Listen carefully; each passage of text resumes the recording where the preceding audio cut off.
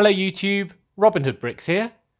And today we've got another brick haul, hopefully with some ballast inside, from bricklink.com. I'll just cut into this.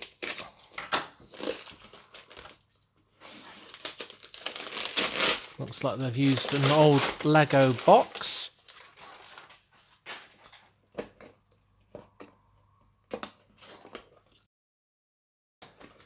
Ah, ballast.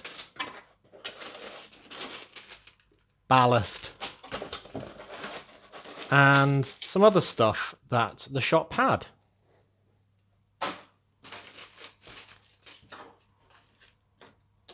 So, in no particular order, we've got a huge bag of about 70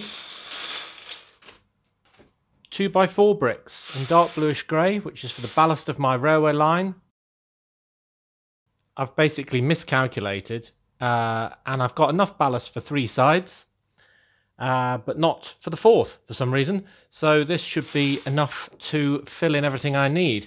So these are for the bits in between the slats in the middle, which I put the little round light bluish grey studs on, and then sixes and eights, of which this is just a huge bag of sixes, make up the outside. So I do that on each of the boundaries of the uh, track pieces just to raise them up. So this should be all I need to completely finish my railway. Oh, apart from I obviously need some sleepers as well. So I got all the sleepers he had and as you know, I use 2x4 tiles in reddish brown. Now, I do think I'm going to be short a small number of these, possibly, and possibly also short a couple of the 1x2 brown uh, tiles that go on the outside little bits of the sleepers. Um, but that won't stop it all being firmly in place and it won't uh, cause any derailments like we had when we did part two of the bridge. So um, very happy with that. that. This was the main reason for the order. I basically went around all the stores that had enough of these and these uh, to fill my needs. And then I went for the cheapest one of those. And then I just, as I always do, reviewed everything they had for sale just to see if there's anything I wanted, either on price, for a project, or just a speculative buy. So one speculative buy was a sticker, which is the mirror piece. So there we go. That's a friend's mirror sticker. And I was thinking of maybe using that in a uh, pet groomers. I know they have some sets in the Friends range which are pet groomers and it's got a paw print on it. So that sort of fits with that. I'm not certain I will have that uh, as a business, but um, you know, it's only a few pennies, so I thought, why not? It's easy to get the things when you see them. I've got four of the grey one by four by three panels. And this is just thinking ahead for my next subway station because I've used four of these for the maps in my current subway station. So I thought if I got the four pieces for the next one, that would make sense. Then I've also got a big bag of inverted slopes in light bluish grey. Now I'm using these at the top of my marina wall uh, and the wall that sort of links the cliffs underneath the bridges all the way up to the marina as well. And there may be a similar bit on the other side uh, in between the subway station and the beach. So I need a few more of those, but those pieces are very useful. I can also use them uh, for subway stairs just by sort of stacking them that way. Uh, so we'll see uh, what I use those for, but there's plenty of potential uses. Mixed bag here. A couple of long Technic pieces. They were probably cheap, which is why I got them. Ah, now these curved and straight fence pieces are for something I'm designing at the moment. I saw them for a good price. I thought I'm almost certainly going to need those. So I'm not going to tell you exactly what that is at the moment. But these, so I've got hopefully three curves. Yep, three curved ones and I probably need some more straight ones, but there are three there, and they're just going to be uh, adding to a modular I'm designing. So there you go. That's all the clue I'm giving you. Then a few bricks that are probably quite cost effective. Uh, white one by fours. I think therefore, yes, they are. Therefore, a facade I'm building. And talking of that facade, here's a whole bag of one by two by two trans panel pieces. I won't get all these out. Oh, go on then, I will. So there's a load of those, and actually we've got a few of these shoe two by two sort of inverted tile, sort of rounded things, uh, pieces as well. But these are going to form the balconies of the modular, not modular, facade building that I'm going to be building soon. I think I've almost got the pieces to do my next two facades, which are going to go on that back wall. So we've got the uh, Aries Deli, then we've got the big uh, black tall skyscraper, and I'm going to do two more that will get us a lot of the way along towards the Vestas wind turbine. That whole wall is going to be filled in with uh, facades before we're done. Right, I'm definitely not opening this bag. This bag is loads of Technic pins. Just needed 50 of those because in making that blue bridge, I used every single one except for one that I had of black Technic pins. So I need some of these to make the next bridge, presumably, because I'll be using Technic on that. I haven't even got enough to hold the sort of black 1x8 Technic brick supports together. So that was a vitally important uh, bag of stuff as well. Then another mixed bag.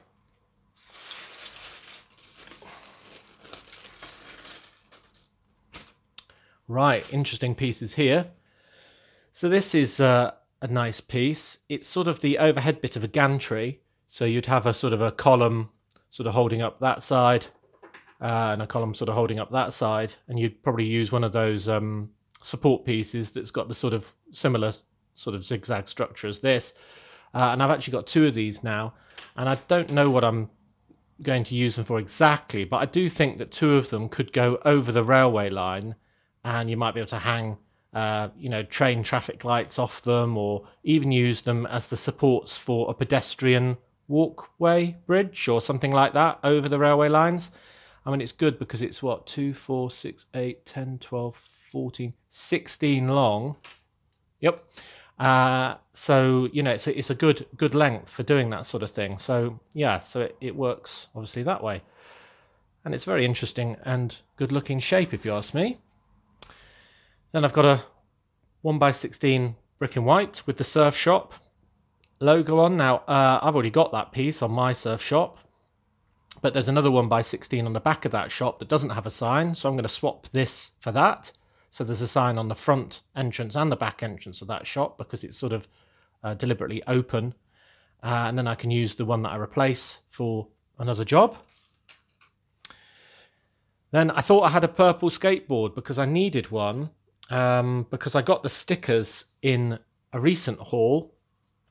If you remember this, I got that sticker for the skateboard uh, from set 79105, Baxter's Robot Rampage, and I thought I had a blank um, purple skateboard to stick it on, but I didn't. So that's something I need. I needed to rectify. Then I've got a lot of one by four tiles with tread plate stickers on. So one, two, three, four, five of those, and two more. Oh no, six, and three more on dark bluish grey tiles. So they're good. I use those, as you probably know, for my um, steps. Oh no, here's some more. Look, seven and four then uh, for the stairs of my subway. So that makes them look very attractive and nice and shiny and so on. So very good. Then I've got hopefully two of these. Mm -mm. Anyone see it? No? Oh, I, I, can see it in another bag. But there's two of these, maybe one's used and one's new, uh, which are basically supermarket checkout or self-checkout sort of screens. And as you know, I'm planning to do a supermarket or a little convenience store type supermarket as well. So I thought these would go really well with that. They're from the Heart Lake Food Market set 41108 from 2015, which is obviously a friend set. I got these for the stickers as well. They're just one by two by five bricks, but they've got this World Unity Festival on, so it could be a festival that's on in Brick Nottingham. They're from set 1376, Spider Man Action Studio, which is quite an old set, 2002. So I've got two of those. Then this I really liked. It's a brown sort of modified tile with clips on, uh, and it's obviously got a wooden old looking sign with a lock on it. That's from the set 79013 Lake Town Chase, a Hobbit set from uh, 2013.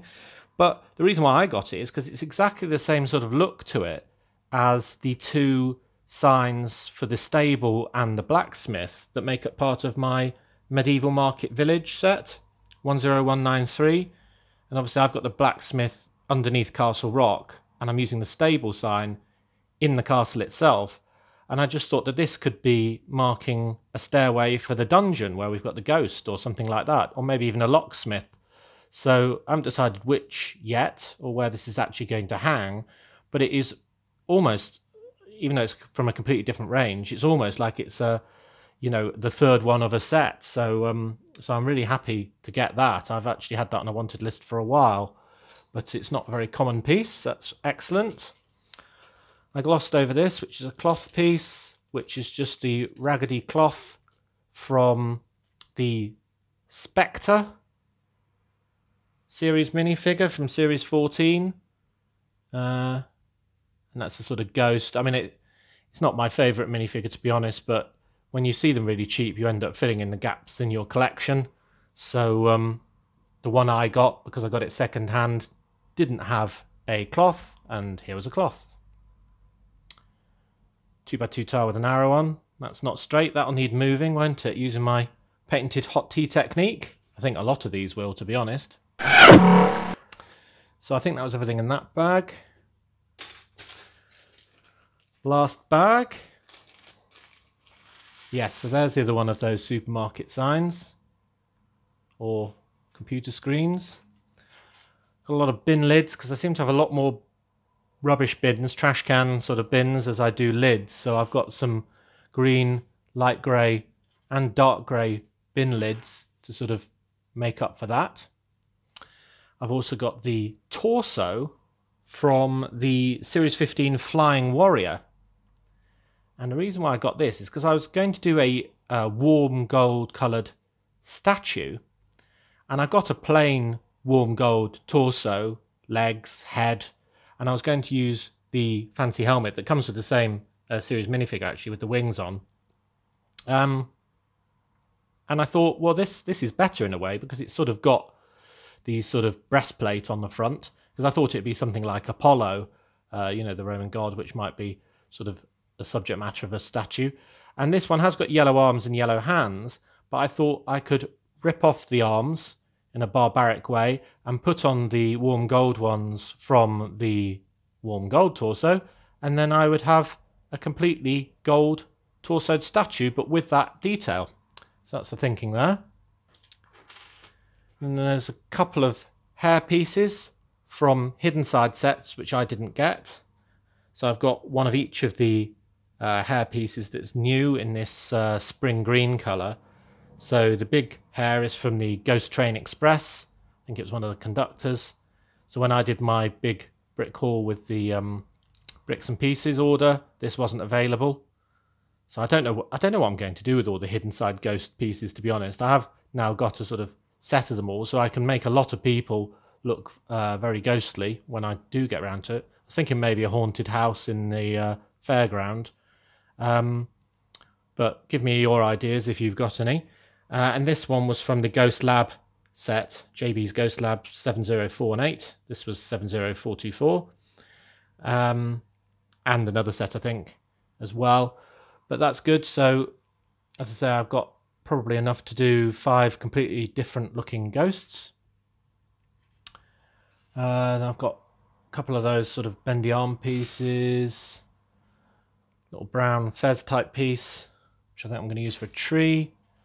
Few of these Technic bits because I want to be able to move uh, axles around corners for when I'm doing my rides, just like they do on the roller coaster and so on. And that is almost the order.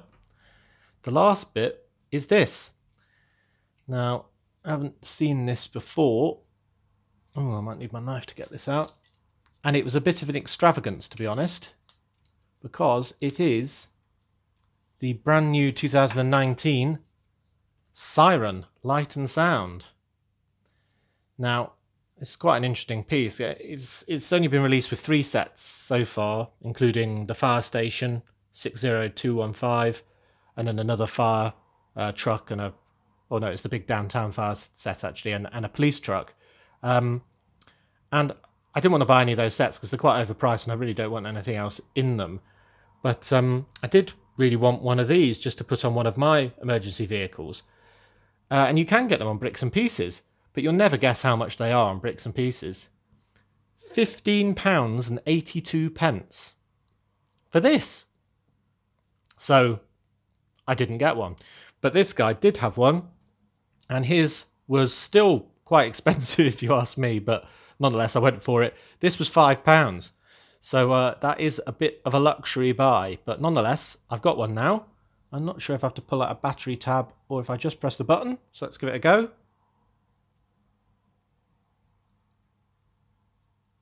Hmm, seems to be ticking, but...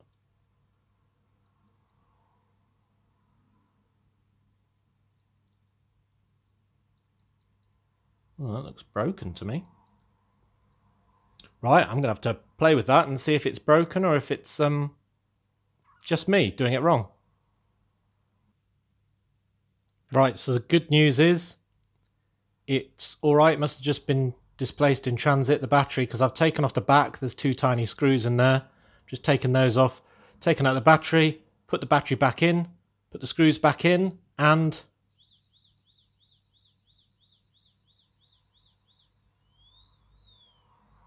Very good. So I can add that to something like my fire truck 60002. Already taken off the old siren block.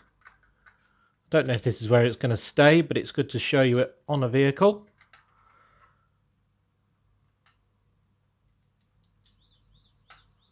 There we go. It's quite big and chunky, but it's good fun. I remember when uh, Light and Sound first came out in the 80s, and uh, it was a revelation, so uh, bit of reminiscence there. And then I've added the sticker onto the purple skateboard and it's really iridescent and quite shiny and, and nice. So I really like that. It looks quite luxurious black. So very good there as well. So there we have it. Another good haul. And I realised I missed something. Got two tentacles in the glow in the dark colour. Sort of off-white, but it is glow in the dark. And these are the last two I need for my um, large jellyfish which, if you remember, I was building from another brick haul using the pieces from the uh, Shark Army Jellyfish Guy with a trans red head inside, a couple of modified bricks, and a trans aerial for it all to sort of stand on. And I was short two. So here we go. One and two. And there we have it. A jellyfish. I might try and see if I can get it glowing in the dark and then give you a clip with the lights off as well.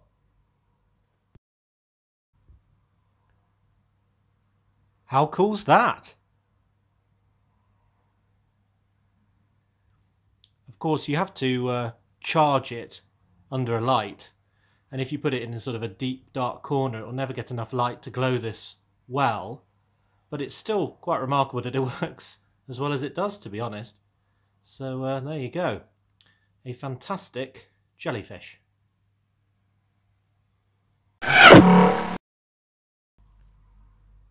So as always, thank you very much for watching. Do remember to like, comment and subscribe for more awesome LEGO videos. And on Friday, we'll be building our continuous curve switch to add more detail and another scene to our railway. See you then!